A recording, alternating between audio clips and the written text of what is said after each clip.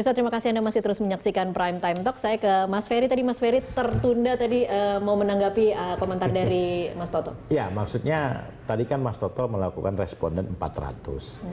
Kalau menurut saya, oke okay lah tingkat keterwakilannya sudah cukup, tapi tidak belum terlalu mencukupi ya kan sehingga menurut saya uh, belum maksimal untuk dijadikan sebagai acuan untuk kami ya sebagai timnya Bang Yusril bahwa oh ini Bang Yusril tingkat uh, elektabilitas sekian. Tapi tadi katanya sebagai faktor pemicu untuk kemudian lebih bekerja. Oh iya, kita kita setuju. itu pemicu. Ya Mas Toto juga saya kan sudah bilang di awal saya ucapin terima kasih bahwa tanpa uang beliau sudah mensurvei kami. Hmm. Nah, ini hal yang sangat positif buat kami dan Bang Yusril untuk ke depan ya kita akan terus melakukan uh, peningkatan elektabilitas ya kan supaya masyarakat lebih banyak mengenal dan akan memilih Bang Yusril. Oke. Okay.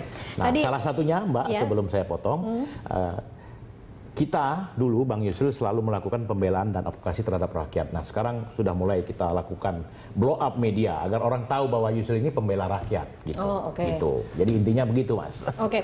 Uh, eh, selain uh, yang tadi sudah dikatakan pembela rakyat, kemudian uh, satu yang kemudian paling diingat oleh masyarakat kemarin adalah bagaimana belusukan ke pasar-pasar menggunakan kaos Mickey Mouse itu yang paling diingat oleh iya. masyarakat. Kira-kira terobosan apa lagi yang akan dilakukan uh, oleh Yusril? Ya, jadi kalau Mickey Mouse itu sebenarnya menurut saya itu anugerah dari Tuhan karena memang bukan ada konsultannya bukan, itu ya. Bukan ada konsultan bukan. politik ya. Karena memang Bang Yusril ini kan sayang sama anak. Putranya ada dua yang kecil-kecil. Jadi selalu minta supaya Bapak pakai baju kaos sama. Hmm. Jadi kebetulan habis olahraga pagi ya diundang oleh masyarakat Puri, kita pergi ke pasar. Nah pasar pun tidak boleh usukan. Memang Bang Yusril itu suka belanja dan masak sendiri. Oh, okay. Nah kebetulan di shop ada pakai baju Mickey Mouse. Hmm. Jadi Bang Yusril bilang, apa ada yang salah dengan baju Mickey Mouse? Okay. Apa reaksi yang diterima oleh tim tim Yusril ketika foto itu kemudian beredar? Ya bagi kita nggak ada masalah. Saya yang pikir yang penting Bang Yusril tidak melakukan hal yang aib ya, misalkan tidak pakai baju apa. Yang pakai pakai baju Mickey Mouse ya lebih bagus ketimbang apa yang kita lakukan tidak. Dan ini pun tidak pencitraan loh Mbak. Apa yang dibilang sama Mas Toto tadi, oh apakah anda yang sebagai konsultan? Oh enggak, ini Bang Yusril murni dan memang spontanitas sehingga beliau Terus terang, ya itulah anugerah Tuhan. Semoga okay. ini menjadikan elektabilitas lebih baik. Oke, okay. sebelum saya pindah ke Mas Toto, singkat saja kira-kira apa sih sebenarnya yang jadi cita-cita Yusril kalau nanti kemudian terpilih menjadi gubernur? Sebenarnya simpel. Jadi keinginan Bang Yusril sendiri baru satu dua bulan ini maju karena didesak oleh tokoh masyarakat dan masyarakat karena kekhawatiran dan uh, sangat miris terhadap DKI, apalagi kepemimpinan Pak Ahok yang ya luar biasa lah.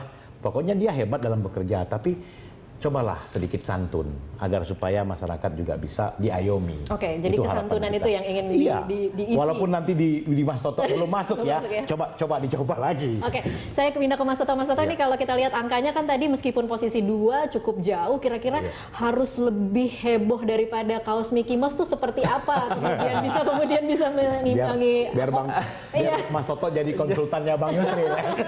jadi ada pola yang eh, berbeda yang menurut saya uh, Yusril juga harus lihat ya. Hmm. Kalau kita berbicara pada saat Foke bisa dikalahkan oleh penantang saat yeah. itu Jokowi Ahok eh, dan kemudian disamakan dengan apa yang terjadi sekarang orang mengatakan dulu Foke bisa kalah padahal survei juga selalu peringkat hmm, satu hmm. berarti sekarang Ahok juga uh, bisa kalah dengan yeah. pola yang sama hmm. betul Ahok bisa kalah tapi jangan digunakan pola yang sama karena modal sosial yang dimiliki oleh Foke dengan Ahok berbeda Foke saat itu tinggi elektabilitasnya, tapi kemudian tingkat kepuasan publik hanya berkisar 40 sampai 42 sampai 47 persen. Okay. Ahok ini mencapai angka 82 persen dan tadi mungkin sudah disinggung sedikit mengakui bahkan Bang Ferry kerjanya bagus, tetapi ada problem secara karakter atau okay. gaya komunikasi mungkin. Hmm. Nah, tidak bisa kemudian digunakan cara-cara yang sifatnya juga emosional atau sekedar menunjukkan karakter yang berbeda. Hmm. Yang harus ditunjukkan lebih adalah bagaimana uh, dari sisi kepuasan publik di situ ada itu di situ susah karena kan uh, penantangnya bukan petahana penantangnya di sini tidak ada yang ini yang menarik hmm. dulu kenapa kemudian orang lebih memilih Jokowi dengan Ahok hmm. bukan memilih misalnya tokoh nasional seperti Hidayat Nur Wahid yang lebih dulu populer iya. bukan memilih Faisal Basir yang lebih dulu populer secara hmm. sebagai tokoh hmm. nasional karena rasionalitas pemilih masyarakat Jakarta ketika kita baca exit, exit poll dan survei itu mengatakan orang yang bisa memperbaiki uh, apa yang sekarang masih menjadi masalah Jakarta adalah orang yang punya track record. Hmm. Dan kenapa yang dipilih kemudian wali kota Solo dan Bupati Belitung Timur yeah. yang dianggap punya cerita masing-masing di belakang. Hmm. Ini yang memang tidak dimiliki oleh uh, Yusril misalnya. Hmm. Hmm. Dan itu yang menjelaskan kenapa ketika survei diadakan sebelum-sebelumnya penantang terkuat itu bukan Bang Yusril, tetapi Ridwan Kamil dengan Risma. Hmm. Mirip dengan cerita ketika Jokowi dulu Ahok maju. Saya yeah. juga punya cerita di Surabaya, saya juga punya cerita di Bandung. Yeah. Itu yang menurut saya masih kurang uh, karena Bang Yusril ini kan terkenal dari sisi sektoral. Yeah. Dia terkenal sebagai ahli tata negara, hmm. profesor di bidang hukum, tetapi yang diinginkan oleh publik ketika seorang menjadi calon kepala daerah, eh kepala daerah dia adalah generalis, dia menjadi seseorang yang menguasai banyak aspek persoalan dan Yusril itu lemah dalam konteks track record sebagai calon kepala daerah. Hmm. Ini yang menurut saya harus mulai ditunjukkan ya sederhana, tunjukkan di mana kegagalan Ahok dan apa yang saya bisa lakukan kemudian untuk menutupi kegagalan Ahok bocoran sudah diberikan loh misalnya carta politika tiga hal yang dianggap gagal hmm. dalam pemerintahan Ahok satu masalah kemacetan kedua pengendalian harga bahan pokok ketiga masalah pengangguran bagaimana seorang Yusril kemudian bisa mengisi itu uh, tanpa tanpa membuktikan karena itu kan akan seperti jualan kampanye saja ketika ketika tiga hal itulah yang akan diperbaiki di uh, itu nanti. memang PR besar hmm. karena uh, masyarakat Jakarta katakanlah tahun 2012 kemarin kalau kita bicara bagaimana visi misi dan program saya pribadi melihat Faisal Basri jauh lebih siap dibandingkan dengan Jokowi Ahok karena okay. dia seorang pengamat yang jauh lebih bisa menerjemahkan secara konseptual. Hmm. Tapi kemudian tidak dianggap sebagai amunisi yang kuat. Hmm. Nah ini yang menurut saya jadi PR. Bagaimana hmm. packaging, bagaimana upaya meyakinkan dari seorang Yusril untuk hmm. bisa menunjukkan bahwa ini bukan sekedar konsep, tapi apa yang saya paparkan ini applicable, masuk akal di mata masyarakat Jakarta, dan itu bisa membuat uh, masyarakat berharap lebih dari hmm. uh, kepemimpinan Yusril ke depan, walaupun sekarang bisa dikatakan kepada Ahok sudah cukup puas.